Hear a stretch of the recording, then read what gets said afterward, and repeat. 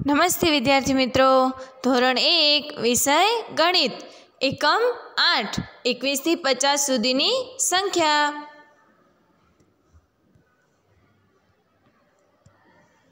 ખાલી જગ્યા પૂરો. અહીં તમને દિવાસળીનું એક જૂથ આપેલું છે અને બાજુમાં છૂટક છૂટક આઠ દિવાસળીઓ આપેલી છે. એટલે એક અને આઠ, અઢાર. પછી અહીં બાજુમાં એક છોકરીનું ચિત્ર આપેલું છે અને એ બધી સંખ્યાઓ ગણે છે. એટલે કે અહીંયા દિવાસળીનું એક જૂથ છે અને પાંચમમાં પાંચ છૂટક છૂટક દિવાસળીઓ છે. એટલે અહીંયા થશે પંદર. ખાલી જગ્યામાં બધા પંદર લખો. હવે એની બા નીચે એક દિવાસળીનું જૂથ છે અને બાજુમાં છૂટક છૂટક છ દિવાસળી છે. એટલે કે અહીંયા એક જૂ, એક દિવાસળીનું જૂથ અને બાજુમાં છૂટક છૂટક છ. એટલે કે અહીંયા આવશે સોળ. એની નીચે સંખ્યા લખો. અહીં એકમમાં એક, બે, ત્રણ, ચાર સળીઓ આપેલી છે. દશકમાં એક જ દિવાસળીનું જૂથ છે. એટલે કે થશે ચૌદ. એની બાજુમાં જૂથમાં અને છુટ્ટી દિવાસળીઓ દોરો.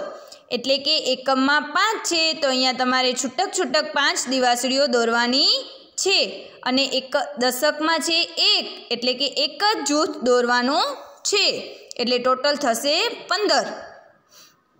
એની નીચે એકમમાં બે દિવાસળીઓ છૂટી છૂટી આપેલી છે એટલે બે થશે અને બાજુમાં એક જ દિવાસળીઓનું જૂથ છે એટલે એક દશકમાં એક આવશે એટલે ટોટલ આવશે બાર.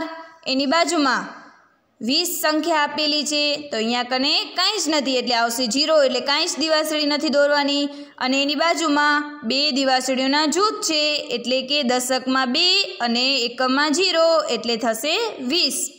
એની નીચે એક દિવાસળીનું જૂથ છે અને બાજુમાં દિવાસળીઓ છૂટક છૂટક નવ આપેલી છે એકમમાં. એટલે એકમમાં નવ આવશે અને દશકમાં એક આવશે. એટલે ટોટલ ઓગણીસ. એની બાજુમાં બે દિવાસળીઓના જૂથ છે. એટલે દશકમાં બે છે અને એકમમાં પણ બે છે. એમાં છૂટક છૂટક બે દિવાસળીઓ છે. એટલે ટોટલ થશે બાવીસ.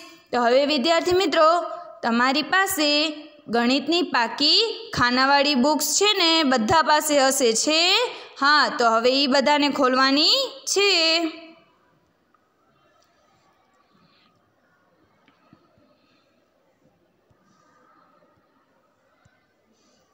એકમ આઠ, એકવીસથી પચાસ સુધીની સંખ્યા આવી રીતે જ બધાને લખવાનું છે.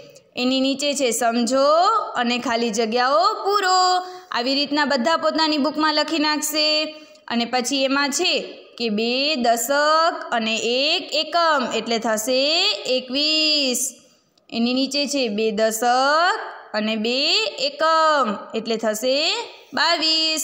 એની નીચે છે બે દશક અને ત્રણ એકમ, એટલે થશે ત્રેવીસ. હવે બે દશક અને ચાર એકમ, એટલે થશે ચોવીસ. એવી રીતના અહીંયાથી પાંચ એકમ, બે દશક, એટલે થશે પચીસ. છ એકમ, બે દશક એટલે થશે છવ્વીસ. સાત એકમ ને બે દશક એટલે થશે સત્યાવીસ. એની નીચે છે આઠ એકમ અને બે દશક એટલે થશે અઠ્યાવીસ. એની નીચે બે દશક, નવ એકમ તો થશે ઓગણત્રીસ.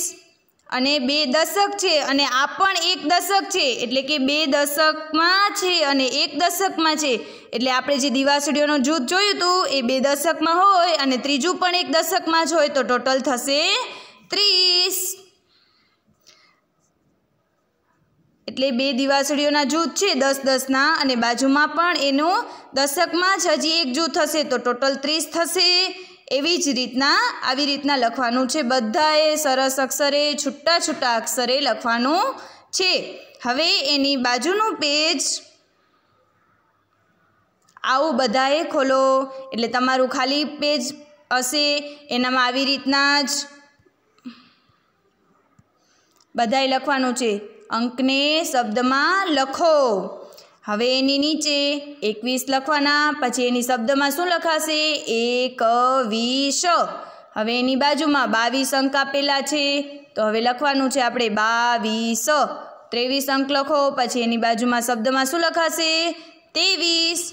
ચોવીસ અંકમાં લખો, એની બાજુમાં લખાશે ચોવીસ. બગડે પાંચડે પચીસ, એટલે થશે શબ્દમાં પચીસ. પછી બગડે છગડે છવ્વીસ. તો લખાશે શબ્દમાં છ, પછી વ જો અડધો છે, અડધો, પછી આખો વ, દીર્ઘઈ દીર્ઘઈ આવશે સ, પછી છ વીસ એની નીચે છે સત્યાવીસ, તો આવી રીતે લખાશે સત્તાવીસ.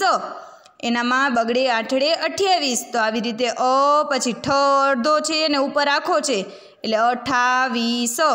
હવે અહીંયા નીચે બગડે નવડે થશે ઓગણત્રીસ. તો અહીંયા શબ્દમાં લખવાના છે ઓગણત્રીસ. એની નીચે ત્ર ગળા મીંડી ત્રીસ. તો અહીંયા આવશે ત્રીસ. તો વિદ્યાર્થી મિત્રો, તમને તમારી પાકી બુક જે ગણિતની છે ને આવી બોક્સવાળી, એમાં બધાએ આવી રીતે મસ્ત અક્ષરે, છૂટા અક્ષરે લખવાનું છે અસ્તુ.